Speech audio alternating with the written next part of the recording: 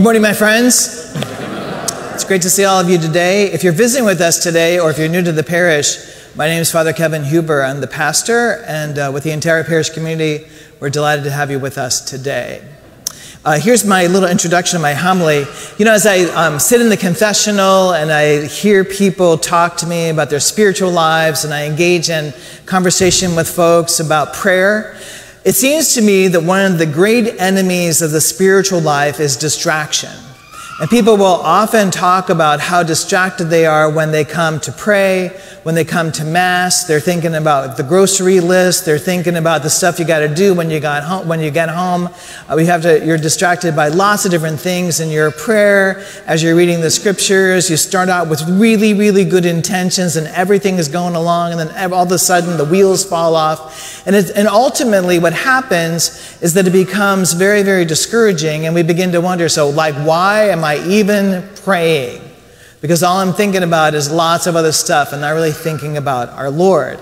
And that's why this passage that we hear today is important for us because it really teaches us where the focus of our attention needs to lie. So I'm going to share with you some thoughts about that. As you probably know, on August the 4th, Pope Francis met as began meetings with uh, cardinals and bishops and priests and lay people from around the world uh, to begin the synod on synodality. And his whole focus is how is the church universal walking together to address important issues? Now there's lots and lots of really interesting conversation about the synod and in preparation over the last couple years, there have been different groups who have decided that the Pope needs to address questions about the ordination of women, needs to address questions about, uh, about blessing unions of same, same gender couples, and also uh, adapting our theology and our tradition according to our, under, our contemporary understanding of the human person and with cultural norms. And, and then there's the other side. And the other side is saying, how can we possibly change 2,000 years of tradition and teaching and truth to accommodate contemporary issues?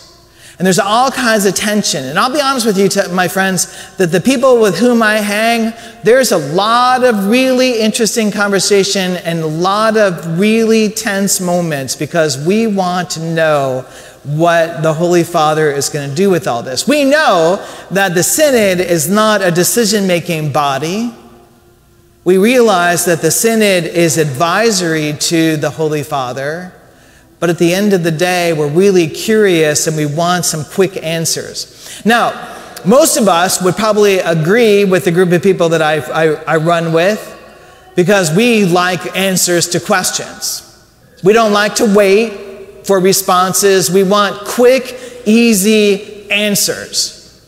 And that's why we want answers to violence, and we want answers to racism, and we want, we want answers to, uh, to economic challenges that we have. We want quick, easy answers to, uh, to the shortage of, vocation, shortage of vocations to the priesthood and to the religious life. And the list goes on and on and on.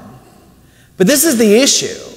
The issue is that we're more focused on the problem and getting to an answer than we are with the desired outcome.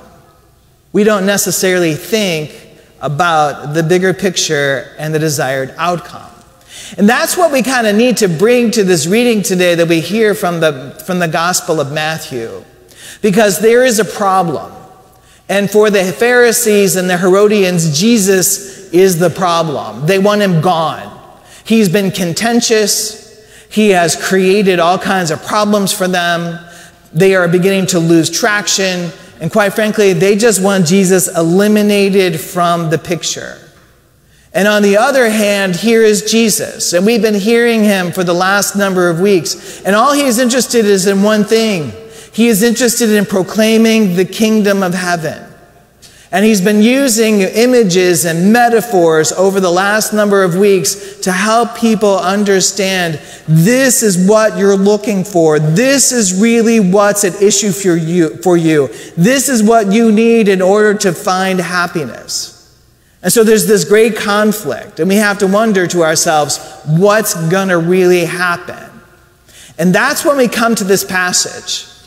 And notice what happens here the Pharisees and the Herodians are going to pose a question to Jesus, and there's a very, very significant issue behind their question. He says to, they say to him, is it, is it lawful to pay the census tax to Caesar or not? Now, you might think that's a pretty legitimate, easy kind of uh, uh, question to answer. But the fact of the matter is, it is a very difficult question for Jesus to navigate. And this is the reason why. If he says, yes, it is lawful to pay the census tax to Caesar, there is going to be a whole group of Jewish folks who are going to be very, very angry because they experience profound depression from the Romans. And they want nothing to do with this whole census tax. And then if Jesus says, no, it's not lawful to pay the census tax, Jesus has a whole other group of Roman soldiers who are going to be coming after him because he is siding with the rebels. And so this is the tension that faces our Lord. And that's when he says to them, Give me a, give me a coin that's going to pay the census tax. And he says, So whose inscription is on this coin? And they said, Caesar's. And exactly right. And Jesus, in one simple phrase, poses to them the response Give to Caesar what belongs to Caesar, but give to God what belongs to God. And it seems as though the problem is solved. For you and for me, my friends, there is a bigger overriding uh, and easily um, acceptable notion here. And that is that Jesus is proposing to us that we need to keep the outcome in mind. And again, the outcome is the kingdom. The outcome is that you and I want at the end of our day, after everything is finished here on earth and we take our last breath, that we are going to ultimately enter into the kingdom of heaven for all eternity. St. Benedict, in his rule on, monasticism in the fifth century, he said this that we need to be in the world, but not of the world. And what he's saying is that you and I have a responsibility to do the things that are ours to do. We have a responsibility to pay taxes. We have a responsibility to contribute to society. We have a responsibility to fulfill and to follow civic law. But at the end of the day, what you and I need to really be about is making sure that we are living our lives with the kingdom of heaven in mind. And every Sunday we come to renew our commitment to that vision. Every Sunday we come to renew our commitment to the kingdom of heaven. And we did it at the very, very beginning of Mass. And the penitential act, I prayed, um, Lord Jesus, you, uh, what did you, what did I pray? Hold on a second. I wrote it down because I knew I would forget. I know myself too well. Lord Jesus, you came to gather the nations into the peace of God's kingdom. And when you and I are not, are, are not aware, when you and I are not engaged in the kingdom of heaven, that's when we cry out, Lord, have mercy. And we prayed, Lord, you, uh, you strengthen us in word and, strength, and you strengthen us in word and in sacrament. And when we're not engaged in word and sacrament, we cry out, Lord, have mercy. And over and over again throughout our liturgy, we recommit ourselves to that one vision, to the desired outcome, and that is the kingdom of heaven. And when we celebrate the Eucharist in a moment, when we celebrate the, uh, the when we pray the Eucharistic prayer, when we return to Calvary and the moment that Jesus, the event that in which Jesus offers his life for the salvation of the world, when Jesus rises from the dead, when he gives us his body and his blood to eat, when he, when he gives to us the everlasting covenant, You and I recommit ourselves to that powerful reality of the kingdom of heaven. That's what we need to be focused on. You're right. There's lots of stuff for us to distract us. There's lots of things to keep us anxious and worried. But what's most important is the desired outcome. We will feel peace. We will feel kindness. We will feel a sense of unity when you and I are focused on the kingdom. Because that is where truth lies. My friends, the, uh, the fact of the matter is that it's going to be a long time before you and I uh, know what unfolds from the synod. The Holy Father will meet with the, with the participants in the synod uh, until the end of the month.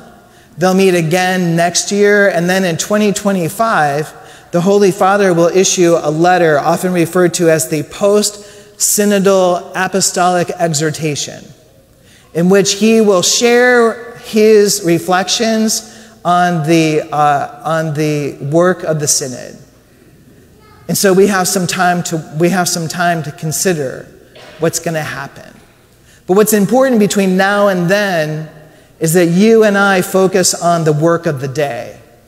And the work of the day, what you and I are to be about ultimately, is to be about keeping our sights fixed on the kingdom of heaven. When you and I do that, we will have everything that we need and more besides. And most of all, we'll enjoy the peace that only the kingdom can provide.